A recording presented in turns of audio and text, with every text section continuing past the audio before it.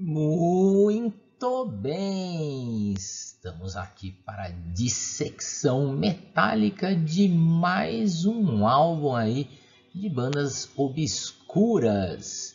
Dessa vez é uma banda que deixou apenas um álbum gravado lá em 1981, relançado em 83.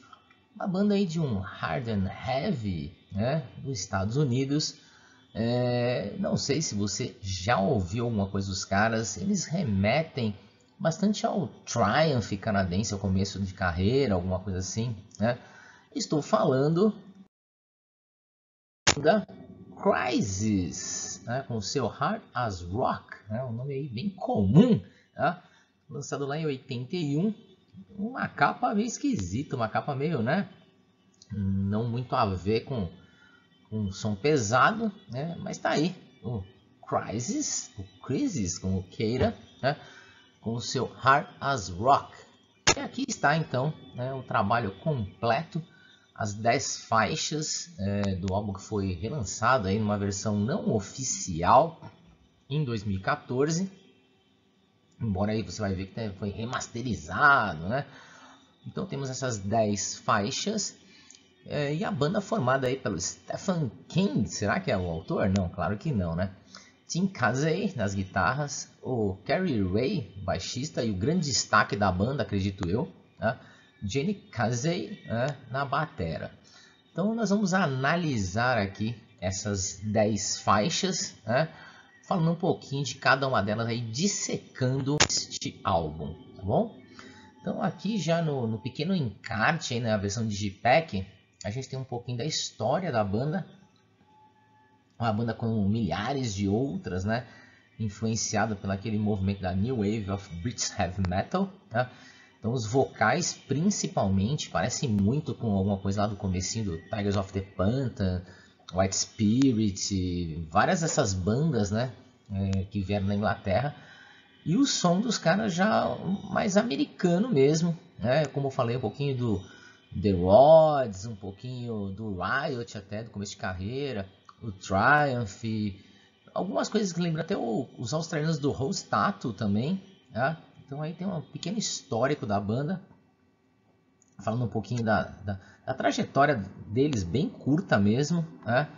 E a gente vai começar então a falar das faixas. A primeira, a Blue Steel, né? é um heavy metal mesmo, um som mais metálico, né? Lembrando alguma coisa do Riot, né, do começo carreira do primeiro álbum, por exemplo, e bastante influência da New Wave of British Heavy Metal, como eu falei, nos vocais, tá? É uma acho que eu gostei, é um destaque aí do disco. Já a segunda, Running, já é um hard rock basicão, assim, com instrumental que me lembrou bastante o Budge, tá? é, com destaque para o baixo. Né? Você percebe o baixo ali estourando na, na gravação, não sei se proposital ou não, né? Mas muito destaque para as quatro cordas. Seguindo aí no álbum, a gente tem a faixa título, Hard as Rock, né? Pegada bem anos 70, assim, gostei também, né? acho que é uma das, das faixas mais legais do disco. Né? Enquanto a seguinte, Touch Me, já é uma baladinha é, que não dá muito certo, embora o baixo seja o destaque. Né? Então, uh, minha sugestão é escutar tanto a Blue Steel como Hard as Rock, né? Essas duas aí, a primeira e a terceira faixa, né? E a, a Touch Me, se você é baixista, você gosta de baixo, né? E gosta de um, um pouco mais de balada, talvez você curta esta faixa.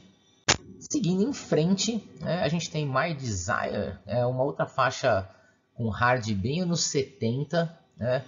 Aqui faltam alguns ajustes na, na música, principalmente nos vocais, já não curti tanto, né? É, assim como a Firelight, né, também que é bem anos 70, uns vocais um pouco mais diferentes também, é bem hard rock aqui, é ok, é uma faixa ok, mas já, já desacelerou um pouquinho em relação às outras. Seguindo em frente, a gente tem Superstars, né, que é um hard rock legal, né, por causa principalmente do baixo, né, o destaque no, nas quatro cordas aí fica bem legal, então o, o, o Carrie Ray aí tá tá de parabéns, né? É, pelo, pelo seu trabalho, ou pelo menos na gravação deram um destaque bem legal para ele. Então essa Superstars é uma faixa que me chamou a atenção né, para o trabalho de baixo. Satan's World é interessante aí, né? É acelerada, mas é, ainda é um hard rock acelerado, né? É interessante também, legal. Poderia ser o terceiro destaque do disco se a gente tivesse que escolher aí as faixas de destaque seriam essas três, né? Blue Steel, Hard as Rock e Satan's Words, seriam as três melhores do álbum, tá? Nada assim super excelente, excepcional, mas é, faixas que acabam chamando a atenção. Tá? Ah, o que você vê aí nessa imagem é a contracapa do LP, né? E essa foto acabou virando a capa de uma das versões LP lançada em 83. Né? Aqui está ela. Então esse aqui é a capa é a contracapa da versão relançada, né, em 83. Uma tristeza, né? Tinha uma capa que não era muito boa, conseguiu ficar pior nesse relançamento. As duas últimas faixas é, do álbum são Blackout, é uma música acelerada, né? é, de novo com destaque para o baixo, e a Hellsville né? é um pouco mais new wave of British, é, of British heavy metal, né? mais uma é, bastante influência inglesa, né? mas já começa a ficar um pouco cansativo, então você acaba já já adivinhando o que vai acontecer, né? uma faixa após a outra.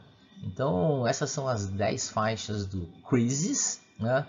É, não é um primor de lançamento, mas para os patrulheiros, aí, pessoal que gosta de ir atrás de bandas, principalmente de hard and heavy, assim como eu falei, lembrando alguma coisa lá do comecinho dos anos 80, final dos anos 70, um pouquinho de Riot, um pouquinho de Triumph, um pouquinho de The Rods, é, alguma coisa Rostato, e um vocal bem assim, é, sem, sem é, assim, exageros, né?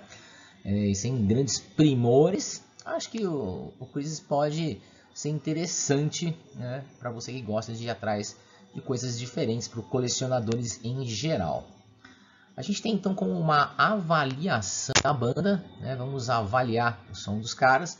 Então, segundo a minha opinião, a capa é a arte é horrorosa, é, em, embora o relançamento em Digipack tenha ficado bonitinho, legalzinho, mas assim, poxa vida, né? Pô, é, entendo que na época lá talvez não desse, desse para investir numa capa alguma coisa, mas depois do relançamento de 83, os caras conseguiram piorar aquilo que já não era muito agradável, né?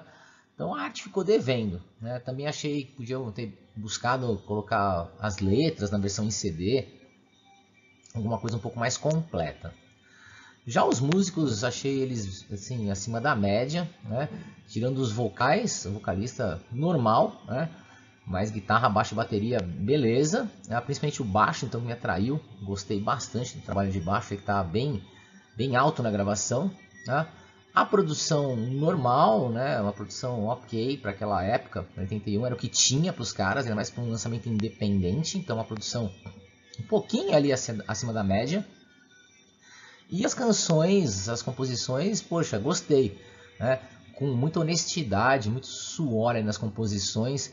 Então os caras é, mandaram no que eles gostavam de fazer, no que eles podiam, nas influências que eles tinham. Tá?